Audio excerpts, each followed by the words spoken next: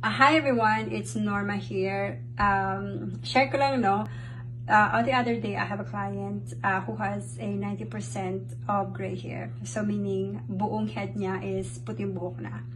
So I did the cut. She has a very beautiful gray hair, natural gray hair. After the cut, she told me that she's gonna buy an over-the-counter blonde color uh, for her hair. So I strongly disagree. Hindi talaga ako pumayag.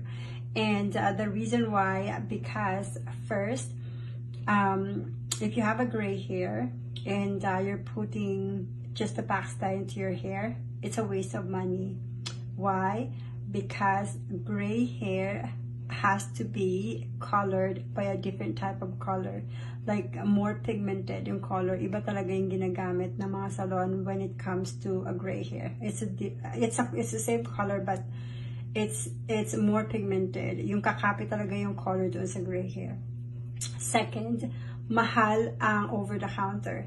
Though um, sometimes we are um, seeing on sale like $9, $10, $12 and so.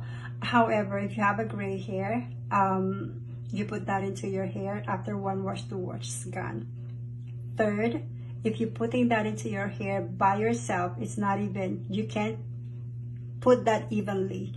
Sometimes you are just putting here in the front or here on the side. It's just because this is the most um, uh, nakikita or uh, most seeable of uh, of your gray. Dito nyo lang nilalagyan and then at the back like uh, you can't see it anymore.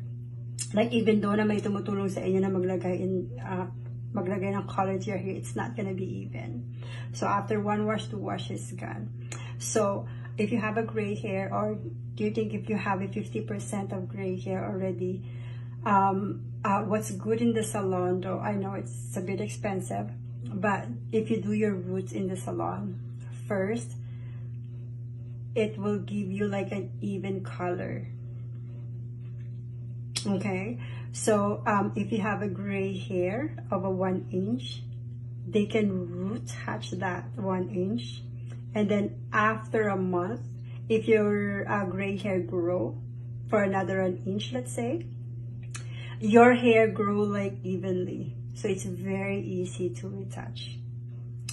I don't have time anymore so i'll see you on the next video. Thank you